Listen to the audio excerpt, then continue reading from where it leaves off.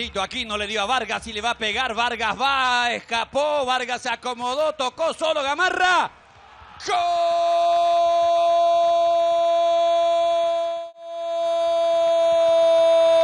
¡De Libertad! Bueno, vamos a ver aquí la jugada que todos quieren dilucidar. Si estuvo en offside o no. Hay posición de adelantada. Sí, totalmente.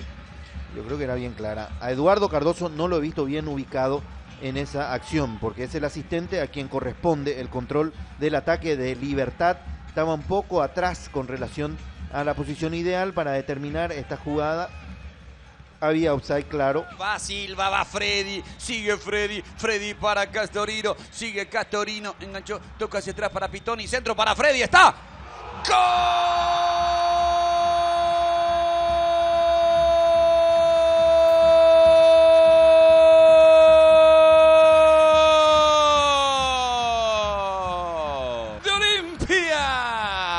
El Zarro Vareiro. Apareció en el área, se lanzó y conectó espectacularmente esa pelota que pica y se le mete a Rodrigo Muñoz. Fue muy bueno el centro de Wilson Pitoni. Empató el Zorro Vareiro, empató Olimpia el partido, está uno a uno. Muy buena la jugada, de las que a Olimpia le dieron mejores resultados en este partido, es decir, trabajar un poco más, no simplemente lanzar el centro, porque ya estaba prácticamente la situación como para hacerlo. En este caso Castorino podía haberlo hecho antes, pero lo ve mejor situado a Pitoni, le retrasa la pelota y desde allí surge mucho mejor colocado el balón a la zona donde estaba Freddy Vareiro para aplicar el golpe de cabeza que vence a Rodrigo Muñoz. Qué buen cabezazo de Freddy, qué buen centro de Pitoni, así lo empató Olimpia.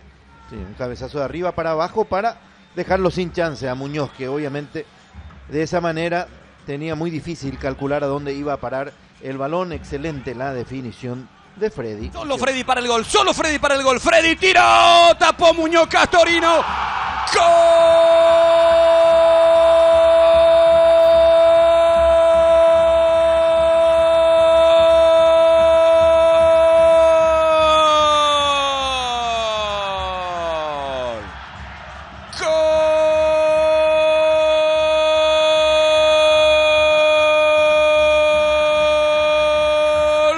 ¡Gol de Olimpia! Arnaldo Castorino. Pelota larga para Freddy que picó habilitado. Se metió al área, sacó el remate. Gran atajada de Rodrigo Muñoz. Pero Castorino venía siguiendo la jugada. Se encontró con ese rebote y la mandó adentro. Olimpia da vuelta el partido. Olimpia se está quedando con el clásico blanco y negro. Olimpia 2, Libertad 1. Y una acción del tridente ofensivo de Olimpia. Inicia Prono, que es el que abre la pelota para la derecha, donde estaba Freddy, que ya pateó para definir, por eso lo hizo de manera cruzada, tratando de complicarle lo máximo posible al arquero Rodrigo Muñoz. Este apenas llega a desviar, por eso el rebote lo da a donde puede, no a donde quiere, y allí es donde aparece Castorino. Con la portería a disposición se serenó, no tuvo ninguna prisa y colocó correctamente el balón para que Olimpia pase a ganar este partido, cosa para lo cual ha hecho muchos méritos.